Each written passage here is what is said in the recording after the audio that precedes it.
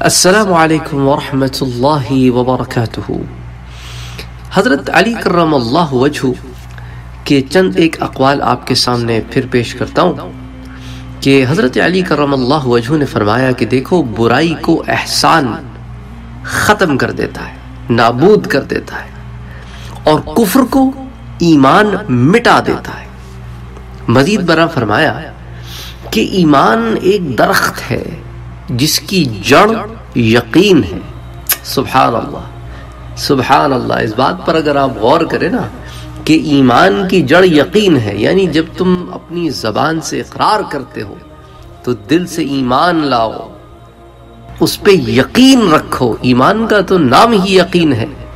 تو ایمان ایک ایسا درخت ہے کہ جس کی جڑ یقین ہے، اس کی شاخیں پرہیزگاری ہے۔ سبحان اللہ یعنی جب جڑ یقین پر ہوگی نا تو پھر شاخ سے پرہیزگاری خود نکلے گی۔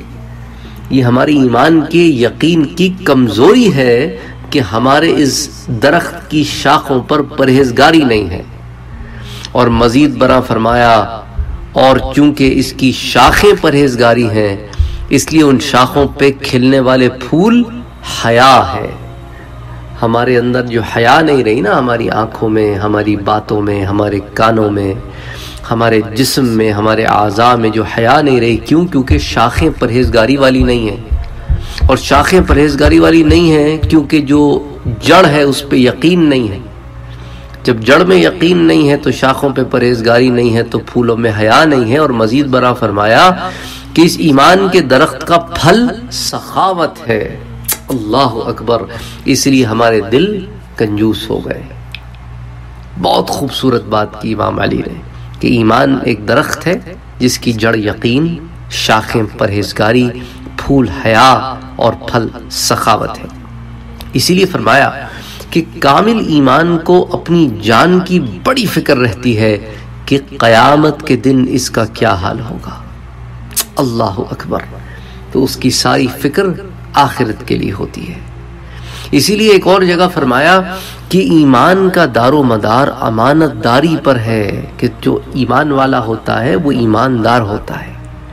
اور پھر فرمایا کہ کشادہ روی سے پیش آنا بھی ایک نیکی ہے۔ کہ کشادگی سے پیش آؤ، کھلے دل سے پیش آؤ، تنگ دل سے نہ پیش آؤ۔ پھر فرمایا کہ دیکھو، اللہ پر ایمان اور لوگوں کے ساتھ احسان کرنے سے بڑھ کر انسان کے حق میں کوئی زیادہ مفید ذخیرہ نہیں ہے۔ اور پھر ایک جگہ فرمایا کہ دیکھو، جس شخص میں ایمان نہیں، اس کے لیے نجات نہیں۔ پھر فرمایا کہ دیکھو، ایمان سے بڑھ کر کوئی وسیلہ زیادہ کامیاب نہیں، اور احسان سے بڑھ کر کوئی صفت زیادہ افضل اور موجب ثواب نہیں۔ انشاءاللہ تعالی پھر اگلے درس میں کچھ اور امام علی رضی اللہ تعالی عنہ کے اقوال کے ساتھ حاضر ہوں گا۔ وما علینا الا البلاغ۔